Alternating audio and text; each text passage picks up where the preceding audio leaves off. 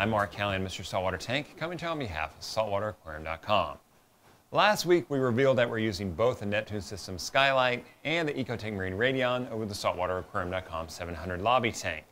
Now, if you want to understand why we went with both lights, the link to that show is right up there.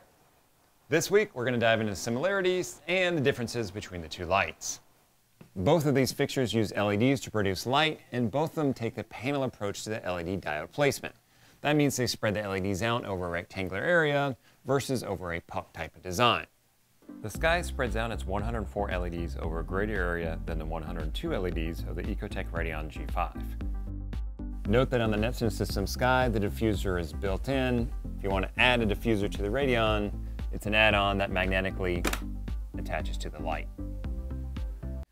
One big selling point of LEDs is their controllability, and both Ecotech Marine Radion G5 and the Neptune System Sky have different ways that you control them.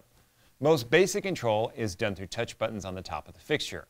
The Radion has three touch buttons, two for changing light intensity and one for changing color temperature. The Neptune System Sky has a single button that you can change both the color temperature and the light intensity. Beyond the touch buttons on the top of the fixtures, this is where the controllability of the fixture starts to diverge. The Radion is only controlled wirelessly through Ecotech's Mobius app. The Neptune System Sky can be controlled wirelessly or wired through a separate connection. The cord from the Sky gets split into two different types of connections. One connection is the Aquabus cable, the other is a proprietary connector.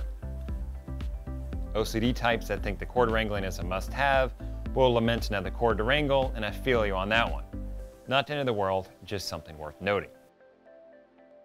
These days, we're doing just about everything on a smart device like a smartphone or a tablet. And sometimes it's nice to use a computer with a web interface, especially when you want to program things. Now, the Ecotech Marine Radion doesn't give us a web interface as Mobius is only available on a smart device.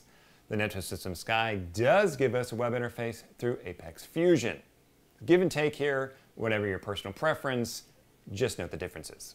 The saltwateraquarium.com 700 is a 30 inch deep tank, so we started the intensity at 50% and took par readings for each light.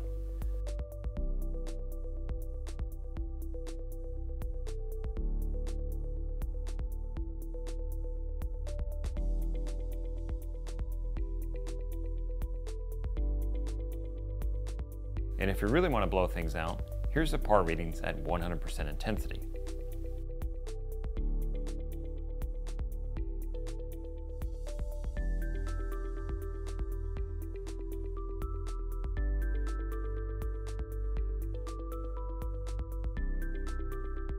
Both Ecotech Marine Radion G5 and the Neptune System Sky have things we like and things that we would like to see done differently.